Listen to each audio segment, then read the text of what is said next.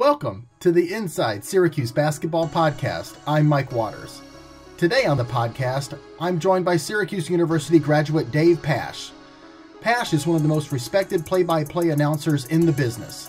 I talked with Dave about becoming the voice of the Orange at the age of 26, his move to the Arizona Cardinals and ESPN, and of course, we talked about his famous on air partner, the legendary and wacky Bill Walton when I started the podcast, this is a guy who I had on my initial list of must-haves.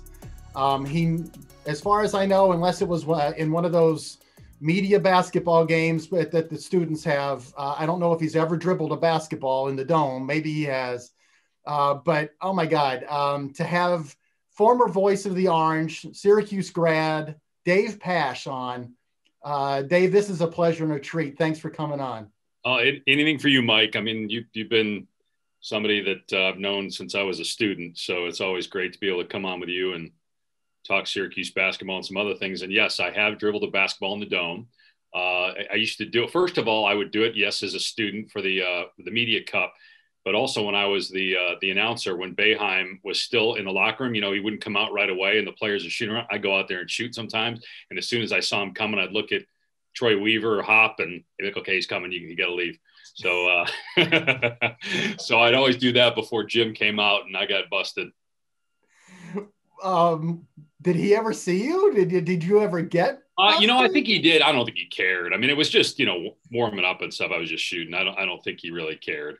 Uh, he, he's pretty, he's pretty easy going about that. Obviously once practice starts, you know, it's everybody be quiet and you know go to your seat but uh, you know when you're just kind of waiting around for practice to start and there's just you know a handful of guys out there. And actually when i was a student too you know hop is a couple years older than me. When i was a student um, i think i challenged him to one-on-one and he absolutely crushed me but that was like cool though to play against mike hopkins and you know in the dome. Oh wow. Now how did aer waer do against the daily orange during your days there in the media cup? What kind of well, a player was dave pasch I'm trying to remember. Um, we were not very good. I know that. Um, I, I, don't think we had any ringers. Like I was okay. I played for a couple years in high school, so like I was all right. And there were probably several guys that were like me. They were they were just all right. I feel like the Do though was worse. Like I felt like they had like nobody ever played basketball. Um, I'm trying to remember.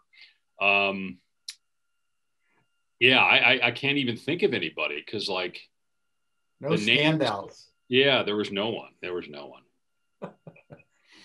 you know, you graduated from SU in 94, and five years later, you come back to take over the play by play duties of basketball. I mean, you were so young. I mean, what was that like for you at that age, just five years after graduating, to come back and, and become the, the voice of the Orange? You're bringing back some great memories, Mike. I, I think about that. I was uh, in Chicago doing sports radio. It was actually, well, my first year there was the last dance. It was the last year of the Jordan era. So I got to kind of cover that for at the time WMAQ radio and doing a four hour talk show. I mean, that's all we ever talked about was the future of the Bulls. Mm-hmm. So that was neat. I enjoyed that. And I was doing work for the Blackhawks, but mostly pre and post game hosting. I wasn't really doing play by play. So I was now five years removed from college or four years, whatever it was. And I was starting to get a little concerned like, okay, what I really want to do, I'm not doing.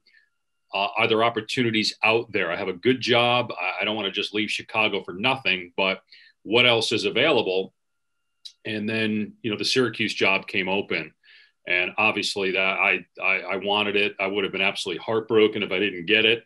Um, and ended up getting the job. And the neatest thing about it was, I think the school wisely was a little concerned about you know Doug Logan had been in the market for two decades and was very popular, and now we're bringing in some 26 year old kid uh, let's help them out. Let's bring back some famous alumni broadcasters and have them do a game with Dave. So my first year, you know, 99 football season, 99 2000 basketball as the play by play announcer for Syracuse, I got to do games with Marv and Dick Stockton and Tirico and Ian and Sean and uh, Hank Greenwald and Andy Musser. I was supposed to do a game with Marty Glickman. That's the year that Marty got sick and eventually passed away. But oh, man. Was, for me, I mean, just first of all, I'm getting a, a dream job because even going back to growing up in Wisconsin, I was a Syracuse basketball fan because they were on TV all the time in the late 80s. And so I, I wanted to go to Syracuse because of the basketball team, because I was a Sherman Douglas nut. And uh, so it was so cool to get that job and then also to be able to work with those guys and do games with them. So, um, I, you know, it was three years that I was there before I came to Arizona, but it was, it was a great three years. Now I'm sorry. It sounds like it would be in retrospect, wow, that was really cool to do games with Marv Albert and, and, and guys, I'm so, I don't think that would have helped me if I was in your shoes, do a go. I would have been more nervous with Marv by my side. I'm like, no, just let me go. it, it, was uh, look i won't lie i was nervous. Uh, you know mike tirico uh, and sean mcdonough and ian eagle i would say those three guys really became advocates for me. Uh-huh. Uh, i think mike and sean were both on the committee as they were trying to find the next announcer for syracuse. And you know i knew mike a little bit. You know mike is probably five years older than me six years older than me. Sean is about 10 years older than me. So you know I, I was still you know, not in their age group, but I knew them a little bit because they still were very involved with a WAER, you know, and they still are. I mean, those two guys probably do more for broadcasting and broadcasters at Syracuse than anybody, you know, and then Ian as well. Uh, he was doing uh, the Nets at that time, and I think he might have just started at CBS. Uh, so, you know, these guys were so helpful to me. They made me feel comfortable and so I wasn't as intimidated with those guys, but uh, and I thought like I thought I'd be really intimidated with Dick Stockton, but he couldn't have been nicer. Like he was so friendly. Uh, Marv was nice, but Marv, um, you know, he, this is somebody that I grew up absolutely idolizing him and Costas. And, you know, I got to know Bob. We didn't do a game together because I think of Bob's commitments, but, you know, he was great. Uh, Marv was probably the one I was intimidated by the most just because, you know, you're talking about, again, uh, from my childhood, you know, the voice of the NBA on NBC. You think of the Jordan championships and, and him calling those games. Um, and obviously, people in New York knew him as, you know, the voice of New York sports. Not growing up in New York, you know, I knew him as a national guy. And then when I got to Syracuse, I learned about all this stuff. But he was the one that, no question, Mike, I was the most intimidated by just because of who he is. Now, you said something before that kind of intrigued me you said you grew up in Wisconsin, a Syracuse bas- you know, basketball fan. A lot of the kids that come to Syracuse and go to Newhouse School now, they come here because they want to be the next Mike Tirico, Sean McDonough, you know, Marv Albert, Dave Pasch. They're, they're coming here because of you guys. You didn't come to Syracuse because of, I mean, those, the, the announcer yeah. history, or was it really just because of Sherman Douglas? No, no. So I'll let, yes, good question. Let me clarify that. So yes, so I knew, you know, that I in high school that I was not good enough to continue to play basketball beyond high school. I played golf in high school and I could have played, you know, at a very small college level, but I, I wanted to stay in sports and I wanted to get into broadcasting. Uh, and all of a sudden, as I'm, you know, watching all these Syracuse games, you know, Dick Vitale was doing all the games, and Syracuse was always highly ranked and fun to watch. They were kind of like the Showtime Lakers of college. I was always watching them in the alley oops. And Dickie V starts talking about all, all, these guys that went to Syracuse. And so I started learning, oh, Bob Costas went there. Marv Albert went there, these national guys. You know, at that point, you know, Mike Tirico was probably just out of college. So, you know, he wasn't a big name yet, but Sean, I think, was at CBS already. Um, so, you know, doing World Series. Uh, so, you know, Dick mentioned Sean, Dick Stockton. There were other names he threw out there. So it, it started with me being interested in Syracuse because of how good they were in basketball, but then starting to hear about the broadcasting, I was like, I got to go there. That's that's the place. And I remember going there for a visit and being in an auditorium and someone asking, uh, you know, raise your hand if you want to call Syracuse basketball. And literally the entire auditorium raised their hand. I'm like, uh, first of all, I don't even know if I'm going to get in here. And second of all, if I do, boy, I, I don't know that I'm going to you know, I don't know that it's going to work out. There's just too many people that want to do this, you know. And I didn't get into the to Newhouse. I, I got in. I was in the VPA school. I didn't have the grades to get into Newhouse, uh, and not because I couldn't have. I just didn't try very hard uh, in in school, either in high school or at Syracuse for that matter. I think I can say this now. Now that we're 30 years removed, I can say I didn't pay attention.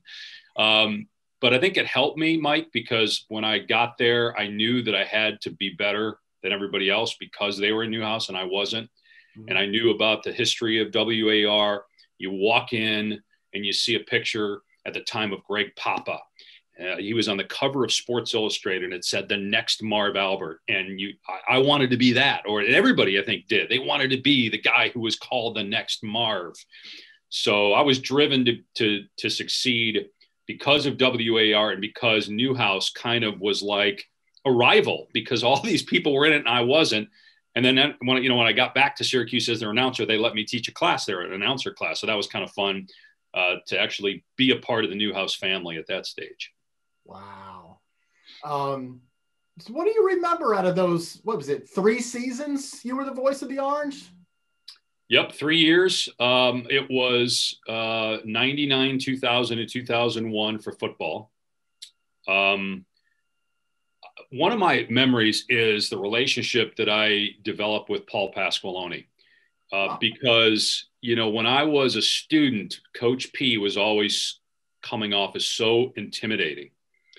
Um, and, you know, you just weren't, you, you, you weren't sure, you know, how he would respond to questions or you just saw the way he coached. And man, I loved the guy. Um, you know, working closely with him and doing coaches shows with him, great personality.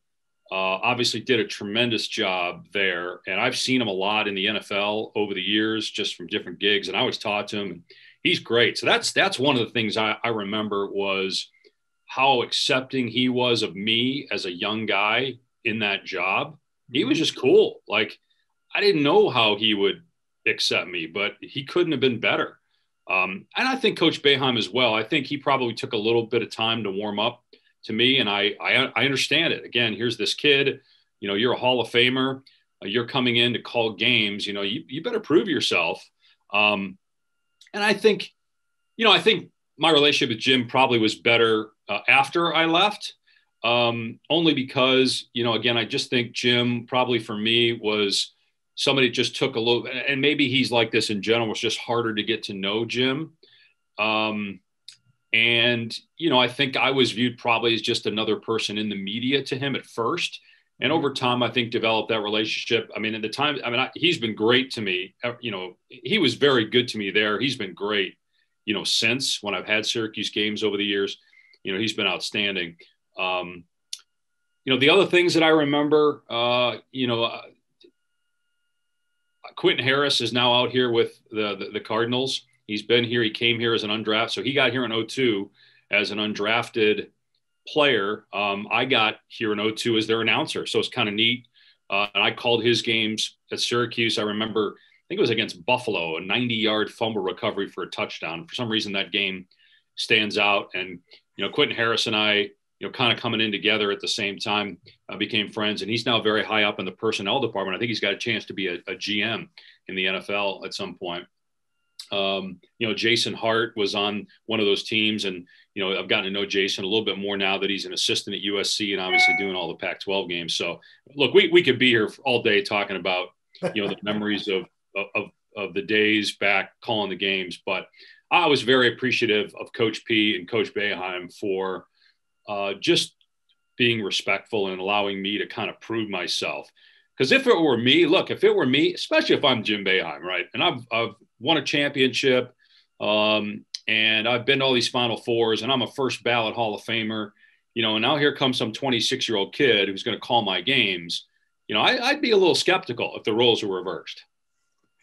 You know, I got to ask you after you leave Syracuse and you took the job, I think with the first it was with ESPN and then the Arizona Cardinals. It was the Cardinals first, so 2002, and then started doing some stuff for ESPN 03. So one year after you leave, what are you thinking as you're watching the 2003 NCAA championship game? That's right. So I should say he had not. Jim had not won a championship. He had been to multiple Final Fours. Like I remember, right, right.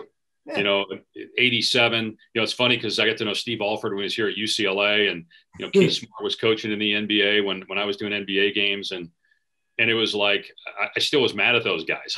like I was, you know, 15 years old watching Syracuse lose a last second shot and almost in tears, you know, because of those guys against Indiana. But um, and then obviously the great run with John Wallace. But yeah, I I left. I think my last year they went to the NIT. My first year, 2000, I think it was Sweet 16. They lost to Mateen Cleaves in Detroit at the Palace. Yep. And then my third year was a, was a bad year. They went to the NIT, and then the next year they win the title. They get Melo, and they win the championship. Uh, look, I first of all was very jealous of Mark Johnson getting to call it. Mark was in between uh, Matt Park and I uh, in that job. So I was very jealous of Mark, but I was, man, I, I, was so happy. It was really, it was so great because you felt like, you know, you were somehow a part of it because you got to know a lot of the guys uh, mm-hmm. that were a part of it. So that was, uh, of my sports memories, that is in the top three or four without question. There, there wasn't a moment at all where you're like, man, you know, that could have, what would my call, what would Dave Pasch's call have been?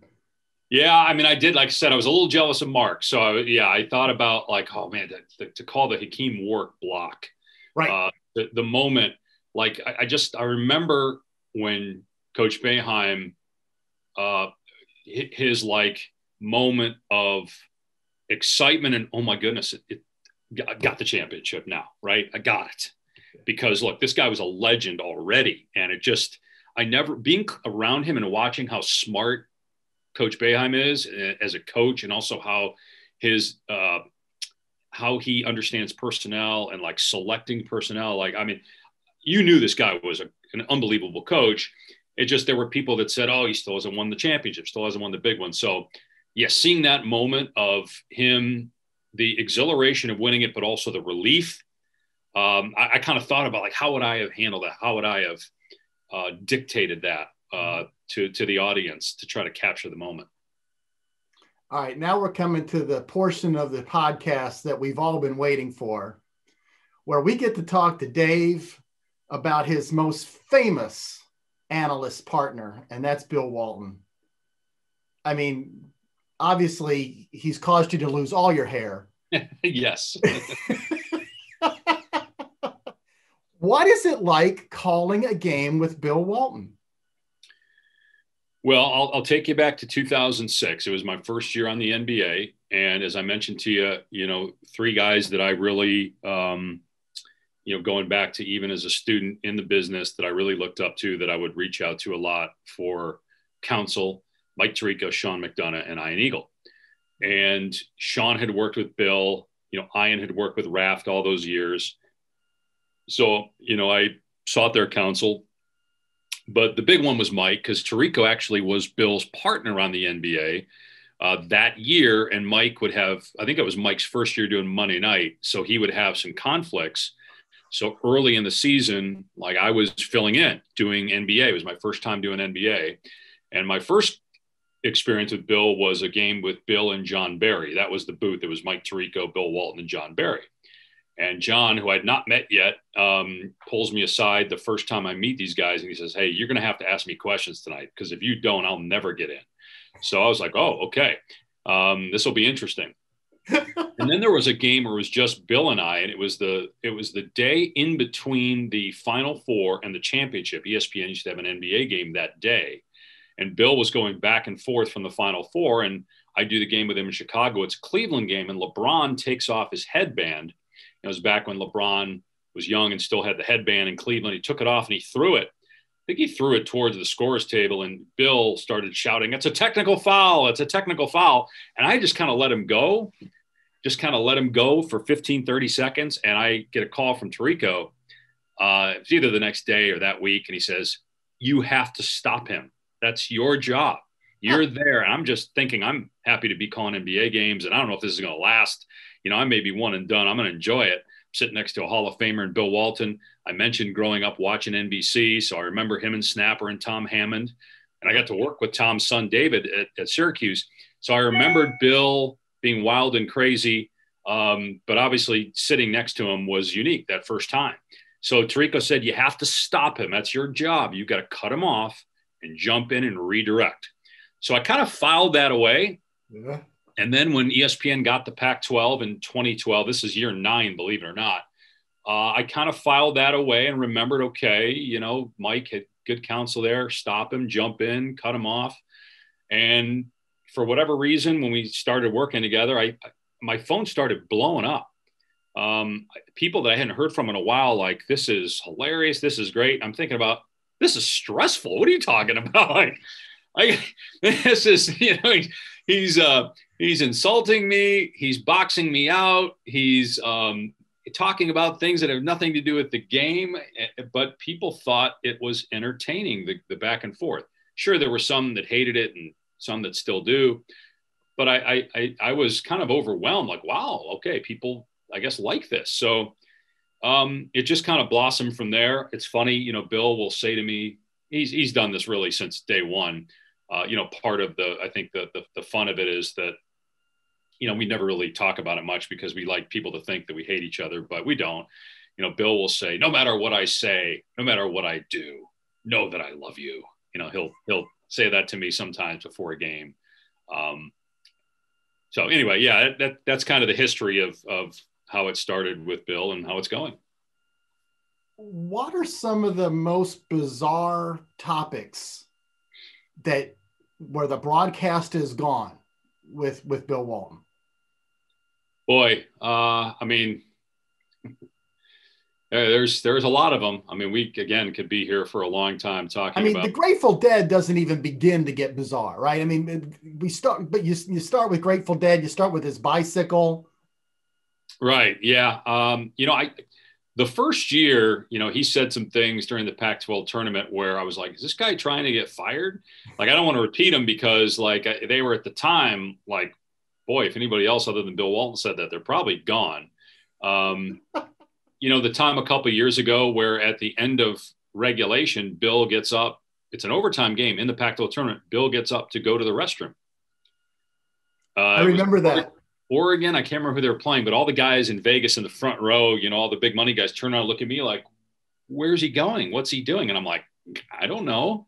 And, you know, Bill, he can't move very well. He can't run. So right. he's walking to the restroom. And of course, you know, with our show, we're like, okay, as soon as he comes out, you know, get the camera on him. So of course, the camera's on Bill, like the game's in one box, and here's a two box of Bill coming back from the restroom.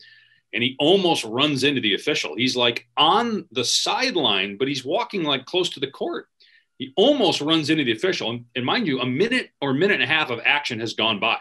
So I'm calling overtime by myself. So that's amazing. And then I don't know if you can see this, but he makes these cards for me um, at the end of each season, like it's part of my gift. And this was, I think this was, no, it wasn't the first one I did. This was like three or four years later. But, you know, it says, acknowledge your problems and find your path forward. And he puts a blonde wig on me here. And Bill and I are driving the Grateful Dead bus. And it says, you know, we do what we want. And the rest of the dead is in the bus with us. I mean, it's, you know, I get a, I get a signed album, but from Mick Fleetwood. Um, I mean, there's just so much stuff, Mike, you know, of things oh that Bill, God.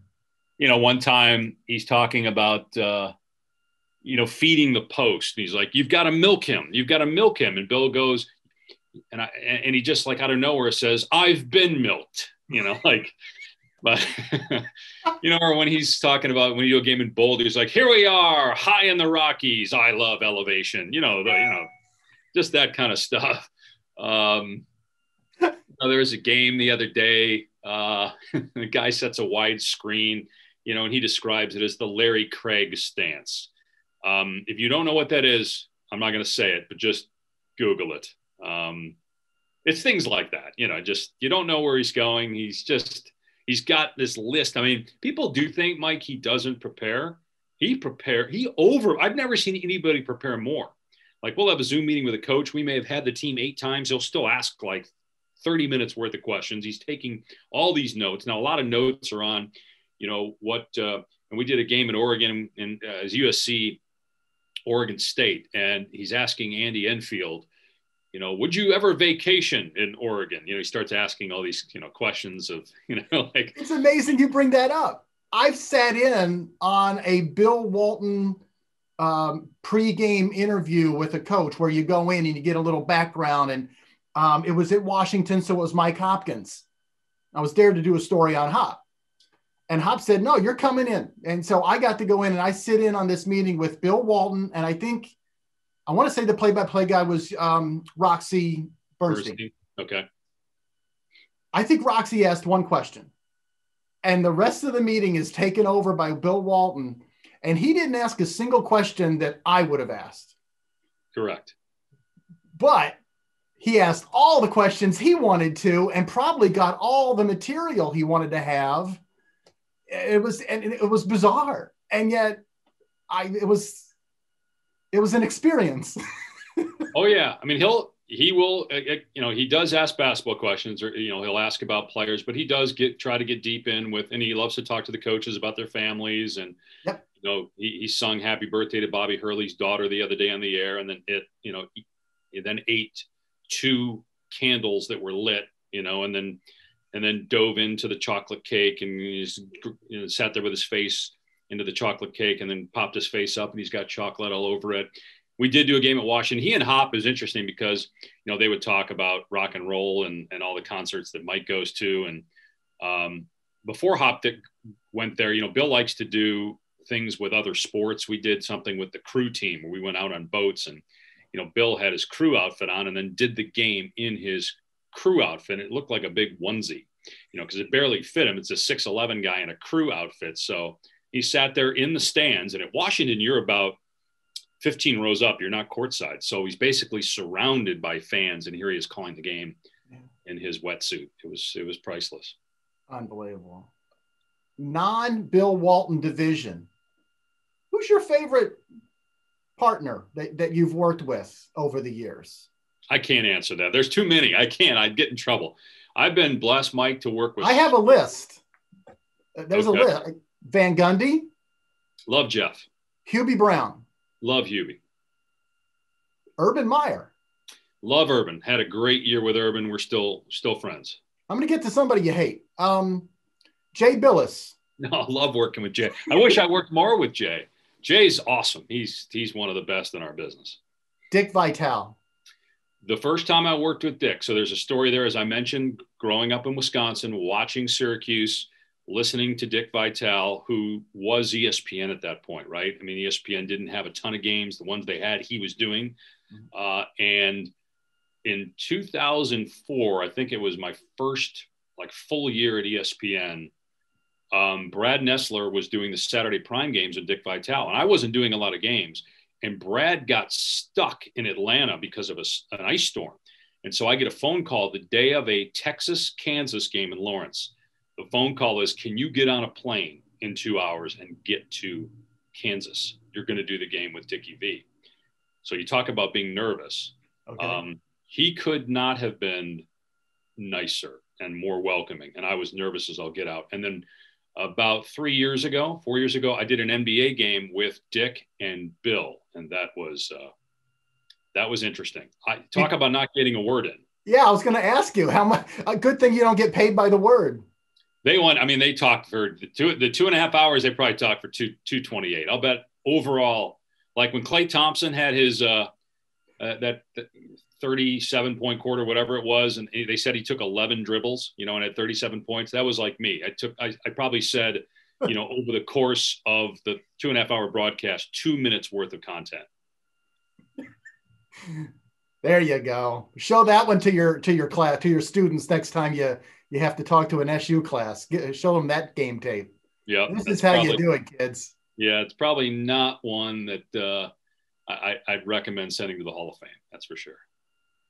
Um, this has been a pleasure. We could probably go on for a very long time and talk about all your other announcing partners and your experiences in the booth, but uh, we're just going to have to save some of that for another day. Uh, but I appreciate your time and, uh, and and your stories, Dave. It's good to see you again. Yeah, you too, Mike. Great seeing you. Thanks for having me on.